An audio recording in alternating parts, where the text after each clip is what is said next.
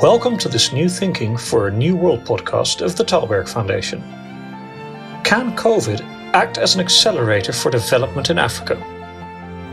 Just like everywhere else, African countries are having to deal with the fallout from the corona pandemic. But the challenges in Africa are different, as are the solutions. In this episode, Alan Stoga talks to Yvonne Aki-Sawyerr, the mayor of Freetown, and Carole Wainaina, COO at the Africa 50 Infrastructure Fund, as they shine their light on the consequences of the pandemic for Africa, as it is forced to rely more on itself. So far, Africa has had a relatively mild bout of COVID, although the WHO clearly worries that things are about to get worse. What plagues Africa may not be the new coronavirus, but an industrial world that is closing down, a new Cold War, this time between China and the West, severe climate change, and probably most importantly, the urgent need to grow and develop faster. But let's start with the pandemic. Mayor Yvonne, how has the pandemic changed your work relative to all of the other challenges that you face? The, the pandemic has accelerated um, some things. The economic slowdown, certainly the impact on the economy is probably the most significant feature of the pandemic for us. Um, we had our first case on the 31st of March. We're now 20th of July. So just a few months in, still 66 deaths in total nationwide, um, and less than 1,800 cases. So that doesn't sound like, you know, much more than you'd be expecting to happen from death by malaria or any of the other ailments which plague us um, as a nation already. But what is clearly different is borders are closed. Businesses are shutting down. Counterparts in other parts of the of the world have their businesses closed. So um, the economic the economic fallout is has been the defining feature of this pandemic. But then when you look at other challenges, informality of a city like mine, Freetown, which is obviously a feature of, you know, having the currently low GDP that we do. Informality in Freetown is seen in three major aspects of our way of life. Informality of housing, informality of employment, informality of transportation. Informality of housing, where in a city of 1.2 million people, 35% live in informal settlements, what are otherwise known as slums. Transport, largely over 80% is from low single use, low occupancy transportation. So there's no mass transit. Um, and when it comes to informality of employment, high unemployment rates, but also a lot of employment which is in the informal sector. So open markets. Why am I saying all this? Because we're dealing with a pandemic where your first measure, protective measure, is physical distance, hand washing, two things which in a setting where informality is a key feature are very difficult to achieve. So the pandemic has had a significant impact economically, but it's also really put a spotlight on our vulnerability to pandemics um, and our inability or the challenges with responding to something as simple as establishing physical distance, hand washing, and any sort of concept of a lockdown where living day to day is a feature of life for most people. So yeah, it's been, it's been an eye opener. Our response has been to accelerate some of the uh, um, interventions that we've been planning as part of our very ambitious three-year Transform Freetown project. It's been an eye-opener. Um, and I think the isolation which we're seeing across the world, the turning inwards, is also a real wake-up call. Carole, you help lead a regional institution in Africa that aims to modernize infrastructure. Mayor Yvonne has just described the impact on her city and her country. Clearly, this pandemic has been an enormous economic challenge, is an enormous economic challenge to the region. How does it affect the vision that you have for Africa even pre-COVID, um, Africa still needed massive investments in infrastructure, uh, which is actually what we do is mobilize um, capital both in, from inside of Africa and outside of Africa for, for infrastructure. Um, I think post-pandemic, uh, this is going to be an even bigger urgent need. But then a couple of things, obviously, that have become even more obvious during this time is um, particularly the social infrastructure parts, you know, water, health, sanitation, which we typically haven't done as an organization. So one of the things that we're doing going forward that's been very much driven by this pandemic and reflecting on the needs of our shareholders, who of course are African governments, is first of all diversifying our strategy into social infrastructure. Um, so that we can expand our scope, uh, investment scope into health, water, and sanitation. Um, but we're also looking at ways in which uh, we can help uh, governments uh, using something we're calling asset recycling to be able to give some funding back to governments that they can use both for the infrastructure they need, uh, but also for their COVID 19 needs. Governments have borrowed heavily for some of the infrastructure they already have um, that's complete. And um, so they've basically tied up capital in state owned infrastructure assets.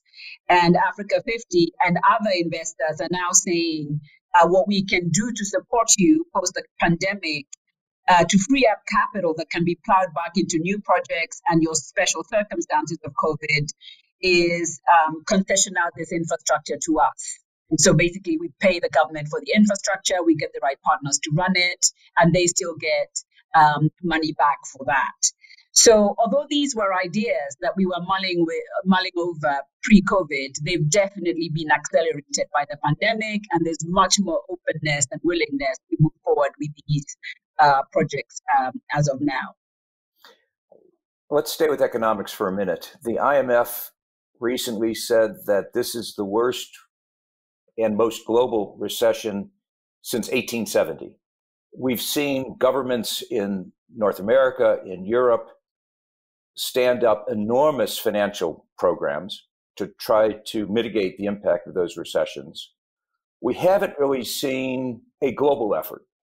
My concern and my question is that, and following on a bit from what you just said, Carole, is whether you, Mayor Yvonne, Carole, have confidence that the rest of the world is going to help Africa or forget about Africa as they cope with their own problems in the coming year, two, three, four years?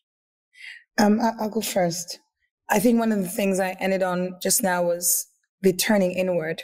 Um, and there will be more of a challenge. I mean, we're already seeing um, shifts in direction in language with COVID, but maybe this also poses or creates an opportunity. Um, there's a feature of this response which requires us to look at things from a local level. Um, it was interesting to hear Carole just talk about the appreciation of the need to diversify and have more of a focus on social infrastructure, water, health, sanitation.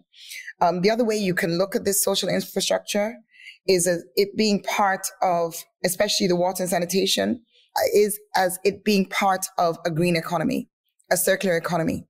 And in the same way, um, some of the ideas that were being thought about at national level by Africa 50 have been accelerated by the pandemic at a local level, a city level.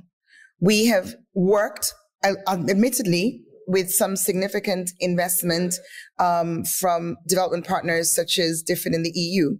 And in so doing, one of the potentials that we have as a city government is to see how these interventions can be entrepreneurial, enablers of entrepreneurship. So when it comes to water, um, 47% of our city had access to running water before the pandemic or rather 47% ha- didn't have access to running water before the pandemic. That was sort of magnified, amplified within our informal settlements. We've provided because we've needed to, because the pandemic has made it a life and death matter, and therefore it's pushed us to do so. We've moved forward with providing rainwater harvesting systems within these communities. These, these rainwater harvesting systems need to be managed.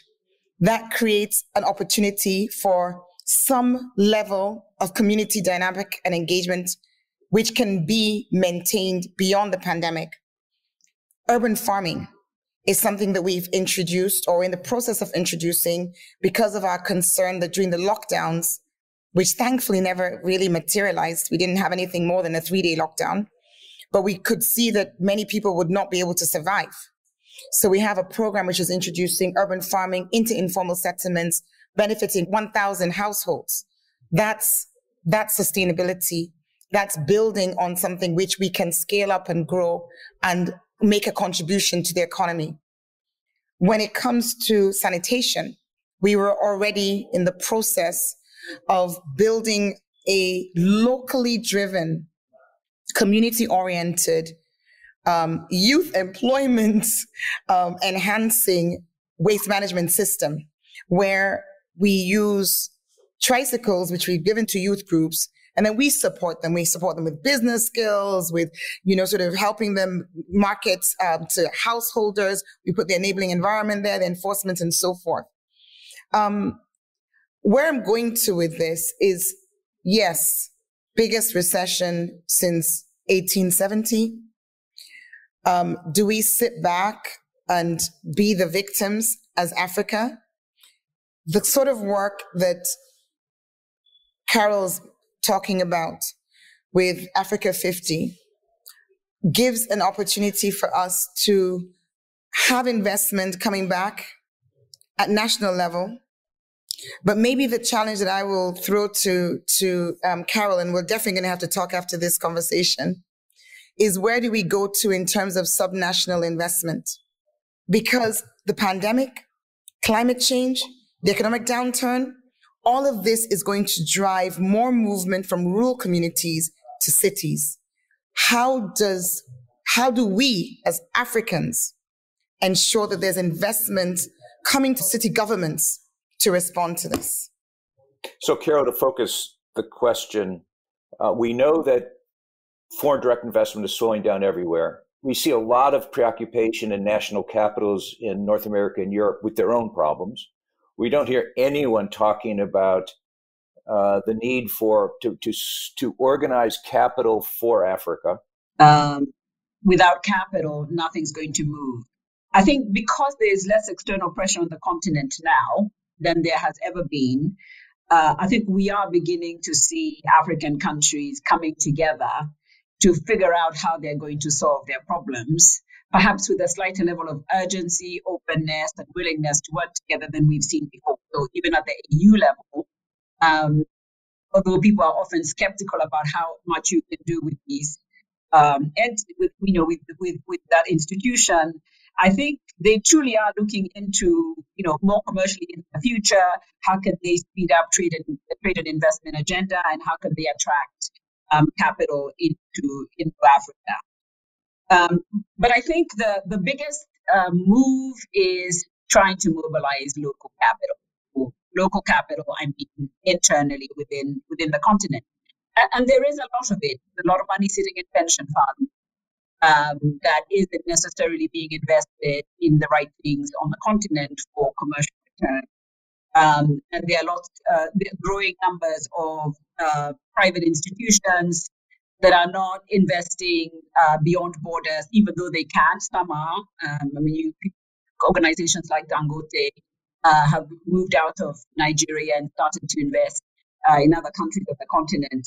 So I think their first their first mission is to mobilize local capital from institutional investors, and then obviously um, uh, basically drive Pan African trade, uh, which has not happened effectively for a very long time.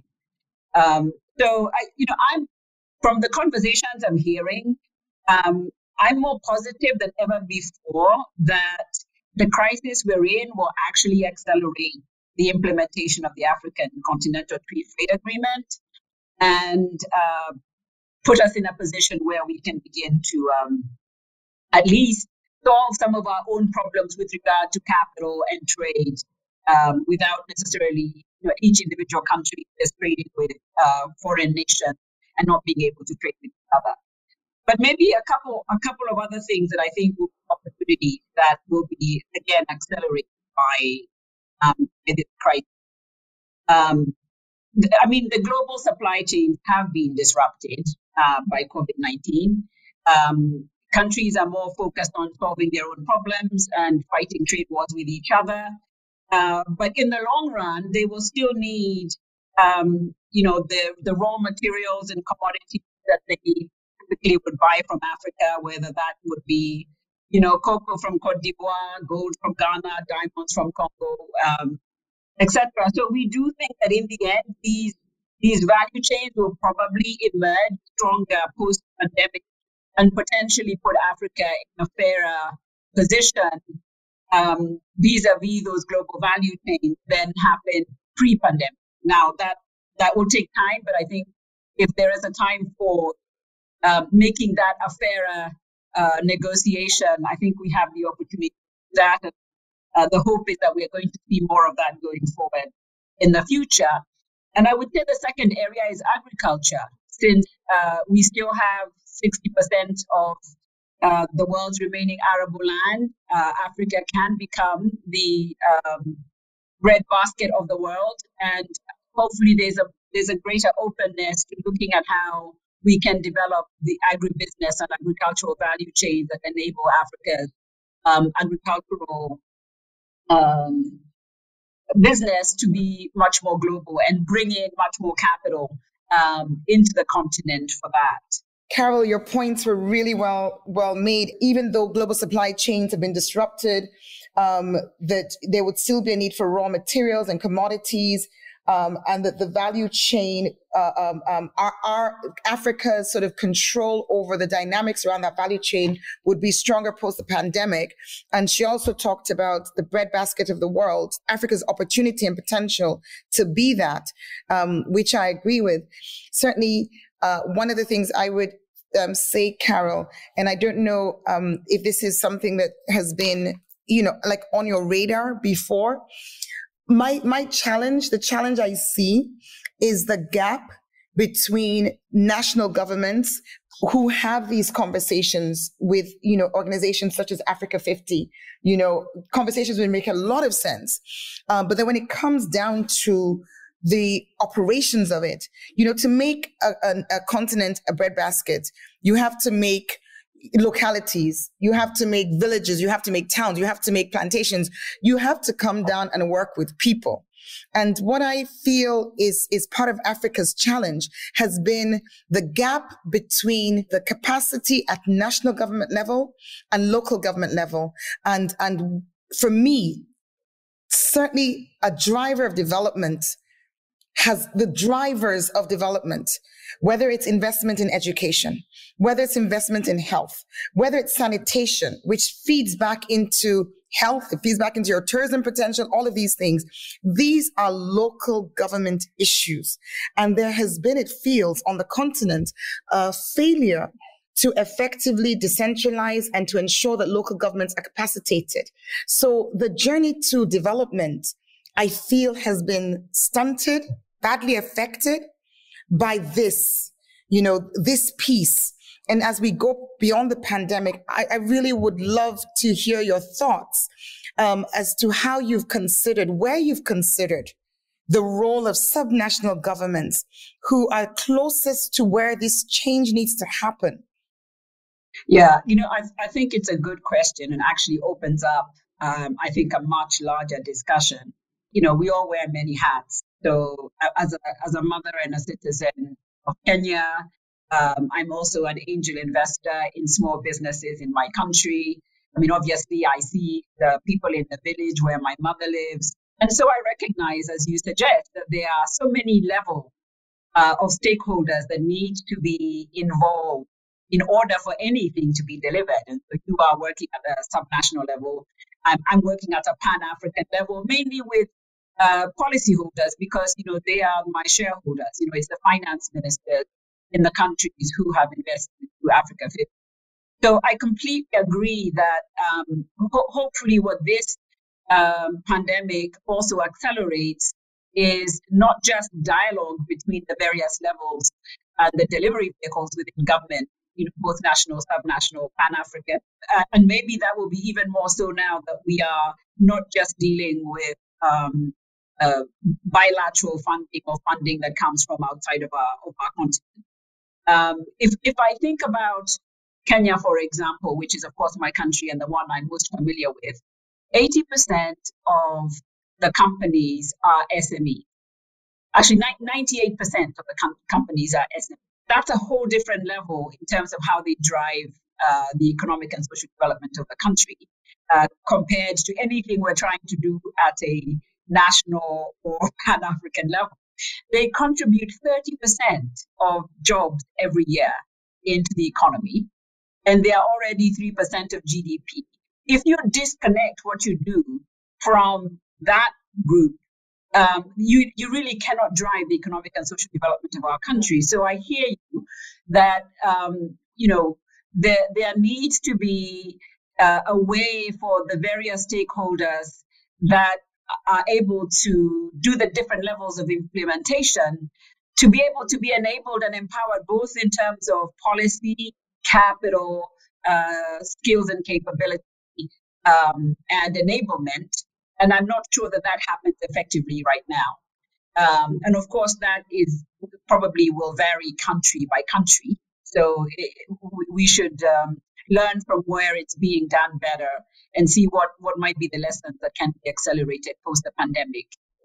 And, and I think, um, I mean, the, the sort of matrix um, that you've just painted, the, you know, the picture of the Pan African, the national, um, the subnational down to the village and across that the private sector, whether it's a global corporate or it's a national, you know, business or it's an SME, um, you know, sort of running alongside and, and it's like you say, it's how do we make sure that the interdependencies, the influences, the feedback loops between them are um, operating effectively, um, the, the, the enablers are provided, that there aren't blocks, you know, being put in the way of SMEs, either by national governments or subnational governments. How do we un- this is this is the unlocking of the potential of Africa, you know, making sure that all the pieces um, are are functioning as they should.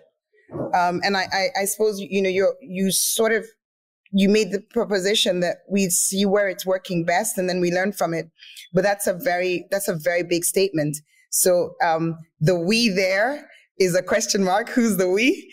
You know, who takes the leadership? Who makes sure the learning is done? Where is the platform created for the um, good example to be seen? Um, there's some big questions here, but these are at a level questions that we need to unpick in order for us to see the change that our continent badly desires or badly requires. And, and maybe COVID is going to provide us with that moment. Africa has an incredibly young, exuberant, demanding population. How do you make sure it helps Africa in the future? I do think that one of the things that Africa has going for it, um, always has, and hopefully post pandemic becomes an even bigger driver, um, is a, youthful uh, population and our youthful workforce. Uh, I think they project that Africa's population will double um, by 2050 to 2.2 billion even today, you know, 60 to 70 percent of Africa's population is youth, and this will continue to grow. So, you know, how do we make this, uh, you know, a huge advantage for the for the continent going forward? I, I think, you know, one of the areas that I see as a potential, and I think there are already a few uh, initiatives in this space already, is is agriculture. Is combining the fact that we have, you know, 60% of the arable land, uh, food security issues across the across the continent, but also across the world. And this budging youth population that uh, potentially, um, if we found a way to leverage them across this industry, in, in the agribusiness industry, uh, could be, you know, increase productivity and potentially, you know, help the the uh, the continent be able to not just solve the food security issue, develop its agribusiness, but also, you know, continue to contribute to feeding the world. So the, I think there is one area where the energy of the youth can be harnessed. Um, and then I think the two other areas might be innovation and manufacturing. Um, we've talked about the fact um, that in many of our countries, it's the small and medium sized industries and entrepreneurs that are driving economies. And I think this will continue to trend going forward. Uh, and so it, it is our youth who are coming up with the creative ideas for how to solve problems with and with, with these small enterprises. Um, and so that will be, I think, an area that we need to enable going forward, which w- will make Africa unique um, compared to other countries on the continent. Um, and then again, uh, in the technology space um, as well, um, Africa does not have the same limitations in new technology um, that some of the more traditional Western countries have done, and, um, and continue to drive initiatives such as you know the drone technology we're seeing in Rwanda that's used for delivering medication, um, the mobile money and digital payment system that we've seen in Kenya. So, you know, all of these things are enabling youth and enterprise. And I think will continue to be big drivers for our economies going forward. And the good news with technology is it crosses borders. And if, if, if this pandemic has shown us that our borders are becoming uh, more limitations than enablers. And so, so hopefully the combination between a budding youth population if they can be leveraged in the right way, um, enable enable technology, um, which we can fast track and leapfrog ahead ahead of the population, and then solving some of our own big issues um, and the world's issues like food security, etc., can all be combined um, um, things that the continent drive. What do young people need to have a reasonable chance at success in this world? So um, I think there's uh, there's a need for investment um, and creating the space. So yes, we've got um, a very young population, um, but we can't assume that they're going to fulfill their potential without making sure that we're investing. I mean, for example, in Sierra Leone, we have one of the highest maternal mortality rates in the world. Many of those people who die are, are teenage girls. Um, that's youth. Um, we have a life expectancy of 52 years. Um, the reason that is there is because there's, you know, that's an average. Many of the people who die are also very young. That's youth. Um, in order for us to make the most of this youth bulge um, and the optimism and the the passion we also need to create an environment in which they can thrive. So investments in education, investments in skills, investments in healthcare, investments in sanitation, and a space. And I come back to local government because I believe that's a space which is easier for youth, young people to access in terms of building their creativity and their capability. But of course, the private sector, which Carole had mentioned before, industries where youth can be engaged in.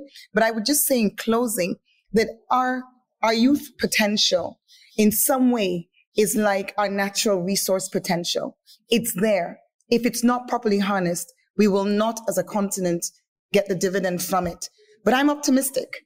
I'm optimistic and I'm hopeful that we will do as that matrix that was painted earlier by Carole, that we'll join those dots. We'll get the pieces working, that there'll be more and more people on different, taking the Pan African route, on different parts of, in different parts of the continent, in different countries, in different cities, looking to ensure that we make the changes that are needed. Thank you, Mayor Yvonne. Thank you, Carole, for everything you're both doing for Africa and for this conversation with the Tallberg Foundation. Thank you. Thank you. Thank you. Yes. Sorry it was so difficult. Fun. Thank you for listening to this episode of the New Thinking for a New World podcast. We welcome your comments and please subscribe to other episodes in the podcast app of your choice. This podcast was made possible with the generous support of the Stavros Niarchos Foundation.